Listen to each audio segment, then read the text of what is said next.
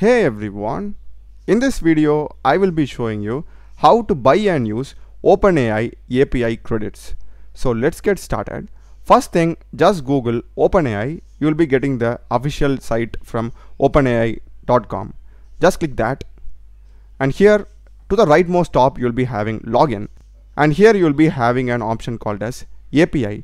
Click that and click on login. If you're already having a ChatGPT account, you can log in with that. Else click on sign up. I will just click login. And you will be taken to an interface like this. And to the rightmost top you'll be having your profile icon. Click that and select your profile. Now to the left we will be having option called as billing. Click that.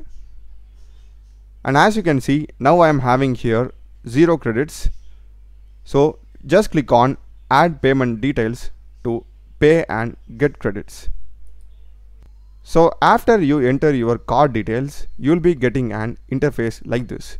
So here you need to specify the amount that you want to add as credits. And here they are also having another option which is automatic recharge. So in case if your credit goes below a particular threshold this will get automatically credited from your bank account.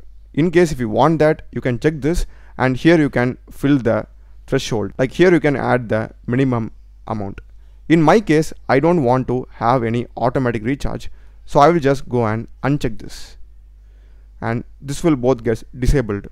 So I am going with $10 and I'll just click on continue. And I have got a pop-up saying payment successful. And now if I go to API keys I can just start creating an API keys and then use in my own application so that's basically how you add credits to your OpenAI API account. I hope you would have found this video useful guys.